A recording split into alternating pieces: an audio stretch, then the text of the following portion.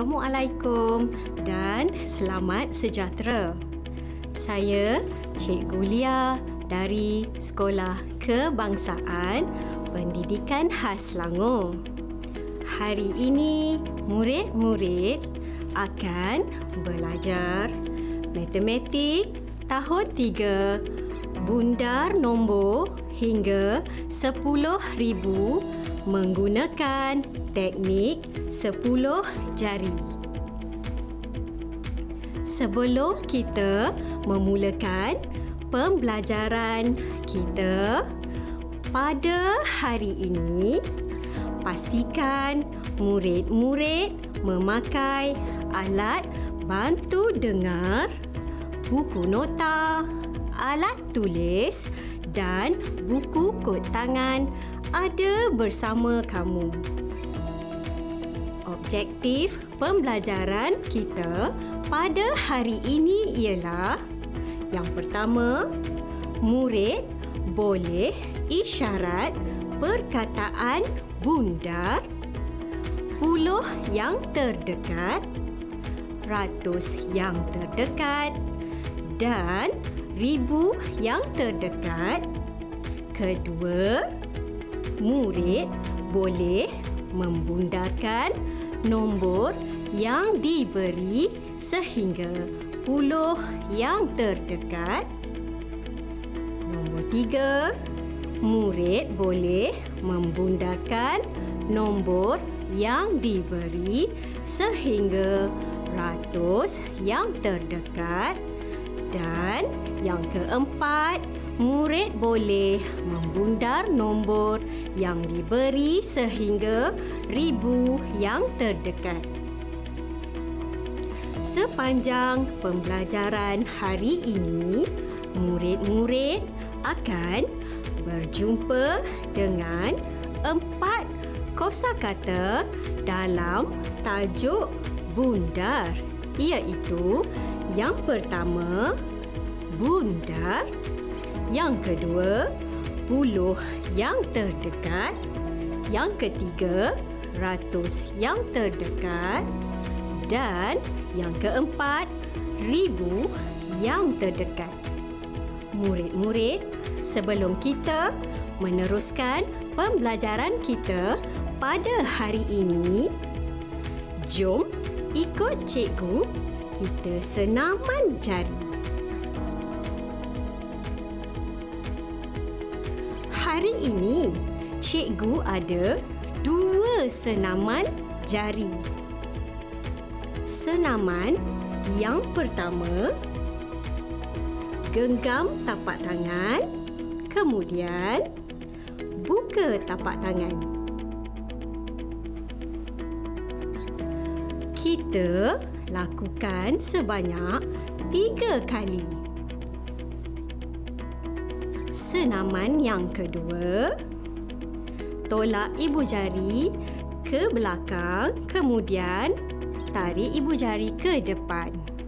Ya, seperti ini. Kita lakukan pada ibu jari kanan dan ibu jari kiri.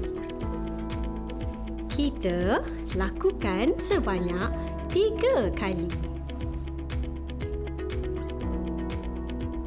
murid-murid, kita telah pun belajar membundar nombor dengan menggunakan teknik bukit dan teknik garis selari.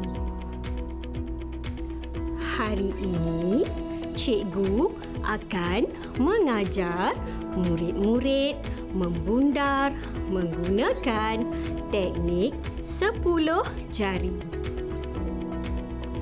cuba lihat jari seperti cikgu dan gambar di sebelah cikgu. Ada jari di sebelah kanan dan ada jari di sebelah kiri. Kita akan labelkan setiap jari dengan nombor sifar hingga sembilan. Seperti sebelah kanan Jari anak kanan adalah nombor sifar. Jari manis kanan nombor satu. Jari hantu kanan nombor dua. Jari telunjuk kanan nombor tiga. Ibu jari kanan nombor empat. Di sebelah kiri, ibu jari adalah nombor lima. Jari telunjuk kiri nombor enam. Jari hantu kiri nombor tujuh. Jari manis kiri adalah nombor lapan. Anak jari kiri adalah nombor sembilan. Labelkan kumpulan jari kepada dua kumpulan iaitu sebelah kanan nombor sifar satu, dua, tiga dan empat dalam kumpulan tambah sifar dan labelkan kumpulan di sebelah kiri jari nombor lima, enam, tujuh, lapan dan sembilan dalam kumpulan tambah satu murid-murid boleh lihat contoh seperti gambar yang ditunjukkan di sebelah.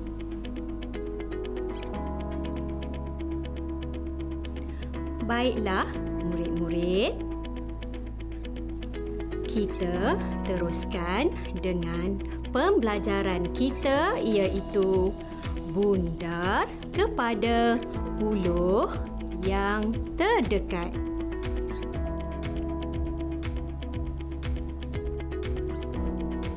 Kita lihat contoh yang pertama. Bagi bundar puluh yang terdekat.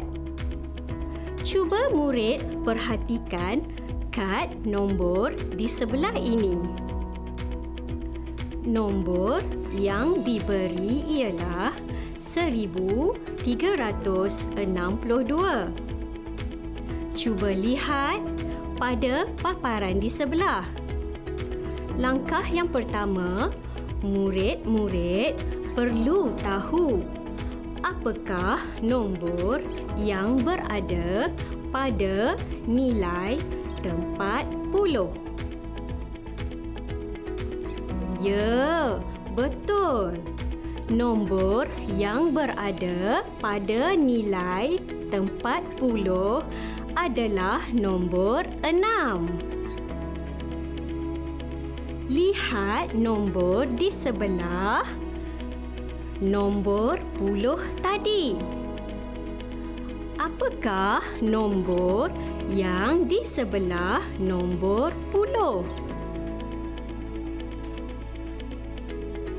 Ya, nombor di sebelah nombor puluh adalah nombor dua.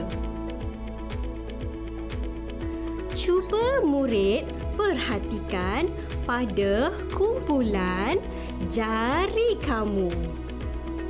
Nyatakan nombor dua berada dalam kumpulan mana? Ya, nombor dua berada dalam kumpulan tambah sifar. Letakkan tambah sifar di atas nombor enam pada nilai tempat puluh. Jadi, tukarkan nombor dua kepada sifar pada nilai tempat sa. Kemudian tambahkan nombor tambah sifar dengan nombor enam dan jumlah hasilnya adalah enam. Murid hanya menyalin semula nombor pada nilai tempat ratus dan ribu.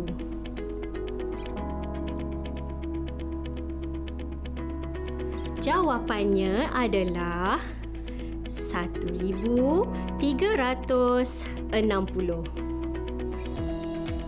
Kita lihat pula contoh yang kedua bagi bundar puluh yang terdekat. Cuba murid perhatikan kad nombor di sebelah ini. Nombor yang diberi ialah 3738 dan lihat pada paparan di sebelah. Langkah pertama, murid-murid perlu tahu apakah nombor yang berada pada nilai tempat puluh. Ya, betul. Nombor yang berada pada nilai tempat puluh adalah nombor tiga. Lihat nombor di sebelah nombor puluh tadi. Apakah nombor di sebelah nombor puluh?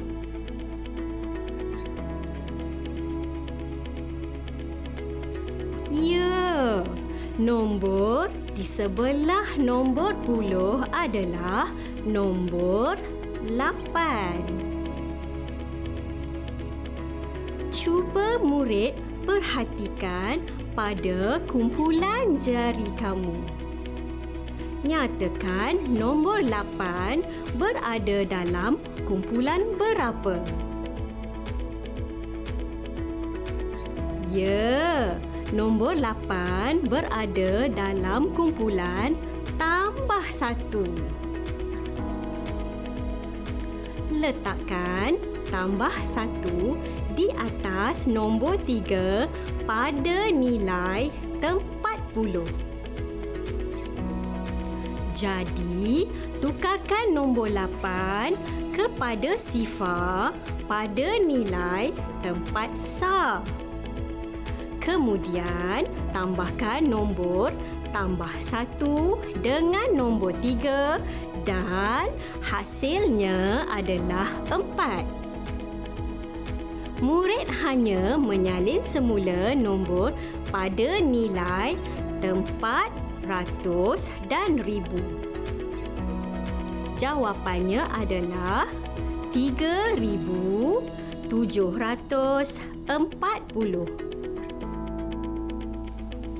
Baiklah murid-murid. Kita teruskan dengan pembelajaran kita iaitu bundar kepada ratus yang terdekat.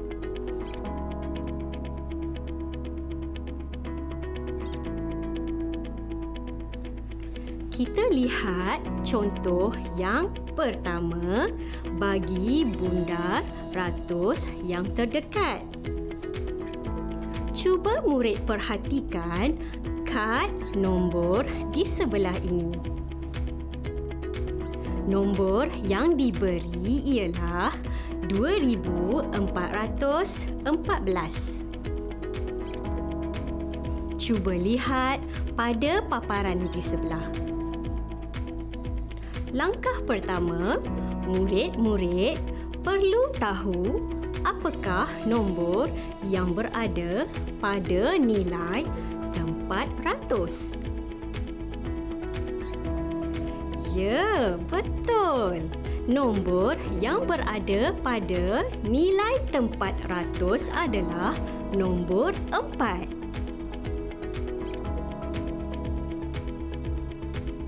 Lihat nombor di sebelah nombor ratus tadi. Apakah nombor di sebelah nombor ratus?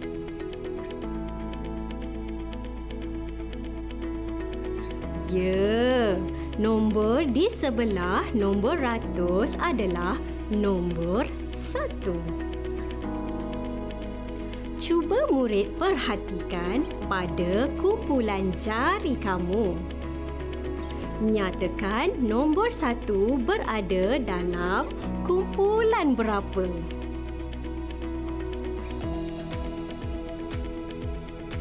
Ya, Nombor satu berada dalam kumpulan tambah sifar.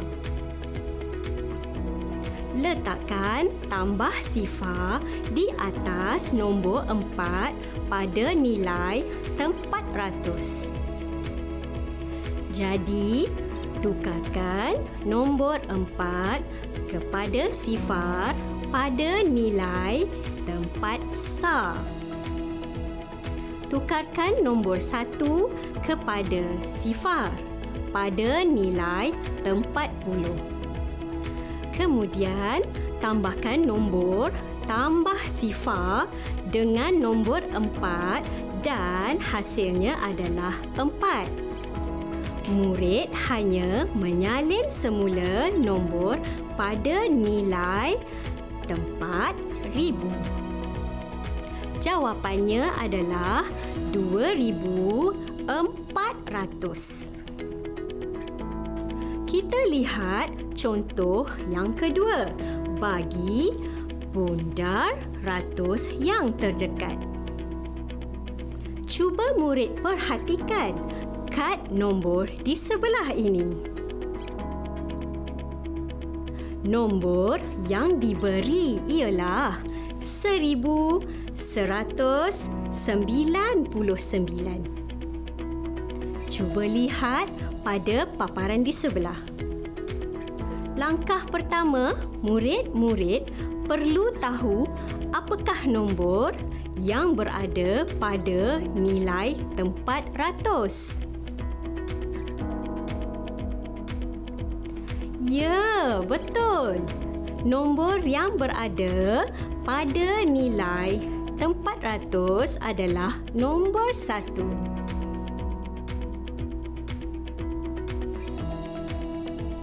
Lihat nombor di sebelah nombor ratus tadi.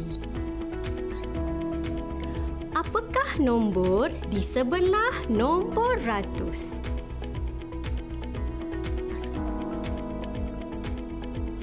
Ya, nombor di sebelah nombor ratus adalah nombor sembilan. Cuba murid perhatikan pada kumpulan jari kamu.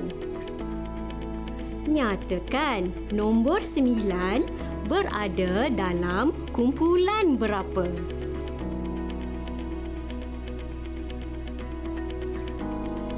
Ya, nombor sembilan berada dalam kumpulan tambah satu. Letakkan tambah satu di atas nombor satu pada nilai tempat ratus.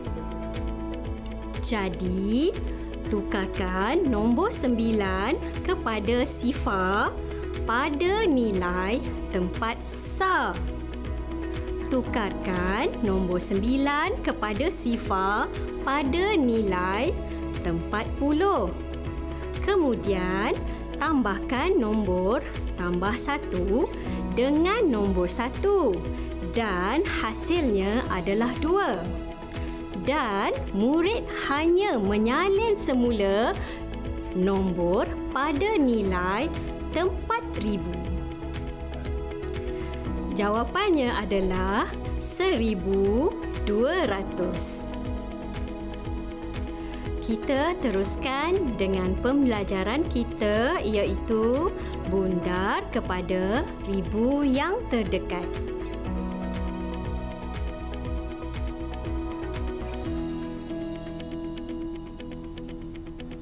Kita lihat contoh yang pertama bagi bundar ribu yang terdekat. Cuba murid perhatikan kad nombor di sebelah ini. Nombor yang diberi ialah 5378. Cuba lihat pada paparan di sebelah. Langkah pertama, murid perlu tahu apakah nombor yang berada pada nilai tempat ribu. Ya, betul. Nombor yang berada pada nilai tempat ribu adalah nombor lima. Lihat nombor di sebelah nombor ribu tadi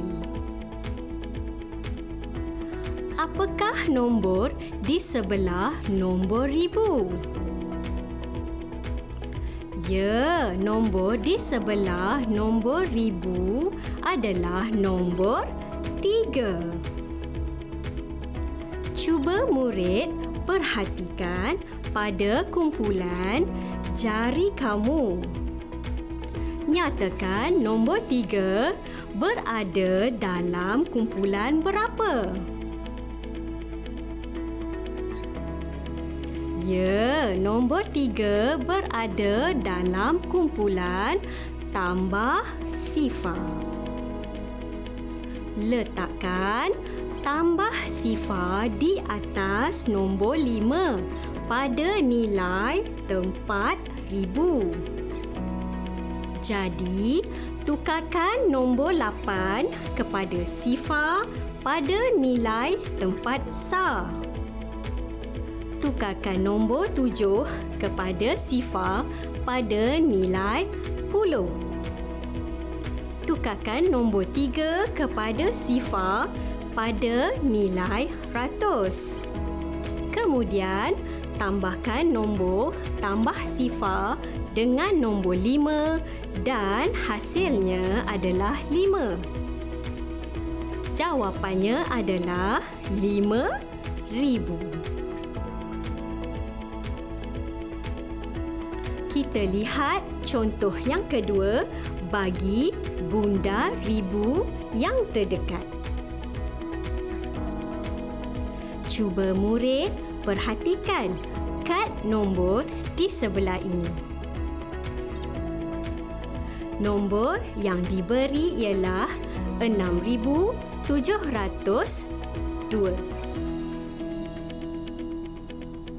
Cuba lihat pada paparan di sebelah. Langkah pertama, murid-murid perlu tahu apakah nombor yang berada pada nilai tempat ribu.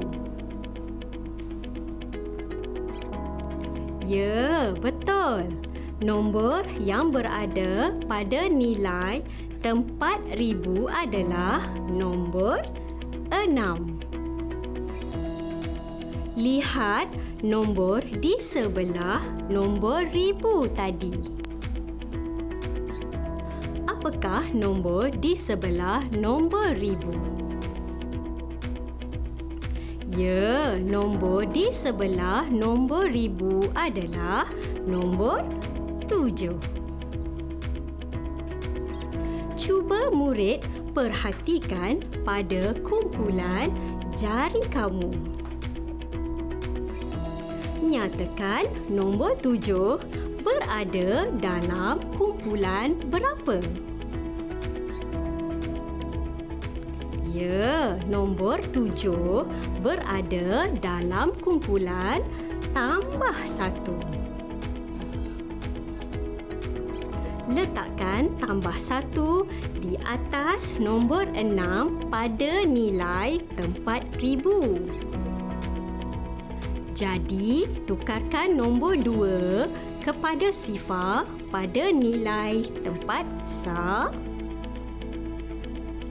Tukarkan nombor sifar sama pada nilai tempat puluh. Tukarkan nombor tujuh kepada nombor sifar pada nilai tempat ratus. Kemudian, tambahkan nombor tambah satu dengan nombor enam dan hasilnya adalah tujuh. Murid menyalin semula nombor pada nilai tempat ribu. Jawapannya adalah tujuh ribu. Murid-murid cikgu mahu berikan latihan pengukuhan kepada murid-murid. Ada tiga soalan tentang pembelajaran hari ini. Cikgu beri lima saat untuk menjawab. Kita lihat soalan yang pertama. Bundarkan nombor yang diberi iaitu 8957 kepada puluh yang terdekat. Apakah jawapannya? Ya, betul. Jawapannya adalah 8960.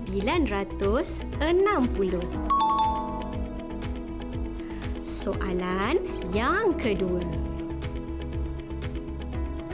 Bundarkan nombor yang diberi iaitu 1273 kepada ratus yang terdekat. Apakah jawapannya? Ya, betul. Pandai. Jawapannya adalah 1300. Soalan yang ketiga dan yang terakhir.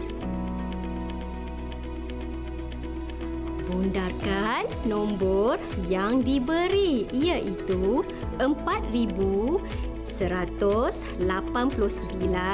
kepada ribu yang terdekat. Apakah jawapannya? Ya, betul. Tahniah. Jawapannya adalah empat ribu. Mudah kan?